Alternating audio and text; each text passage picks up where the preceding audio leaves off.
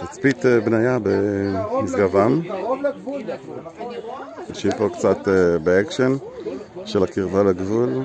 אה, מתחתנו כפר יובל ומעיין ברוך. שהרגל לשעבר מהגבעה הזאת, אבל מאחה ההיסטורית, הכביש, רואים גם רכב נוסע בין מטולה לכפר גלעדי תל חי, מטולה.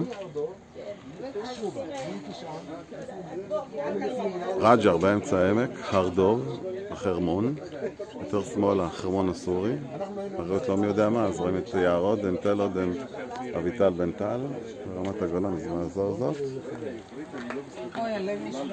וכאן נראית אל עדייסה, עם נביל עוואדי, מצב שהייתי בו בצו חודר בלבנון. מצ'ופצ'יק למעלה. חיל הדייסה, רואים את הגבול, את החומה. פה למטה אפשר לראות את כפר קילה, שיושב מול שער פטמה לשעבר, הגדר הטובה שאינה קיימת בזמן. הר הצפייה, מהאנטנה, כבר שכונה חדשה של מטולה מצד שמאל. קלעה ומרג'עיון על הרכס, שני כפרים דרוזים. אה, סליחה, נוצרים, איזה דרוזים? נוצרים. היה לנו גם בית חולים של הצבא בזמנו, שנות ה-80 וה-90.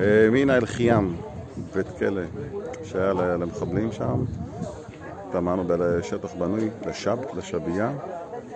יש פה מוצב אחרי מטולה ש... לפחות אני השתתפתי בו בהורדת הגלשון הראשון, לצערנו הגלשון השני הצליח לחדור.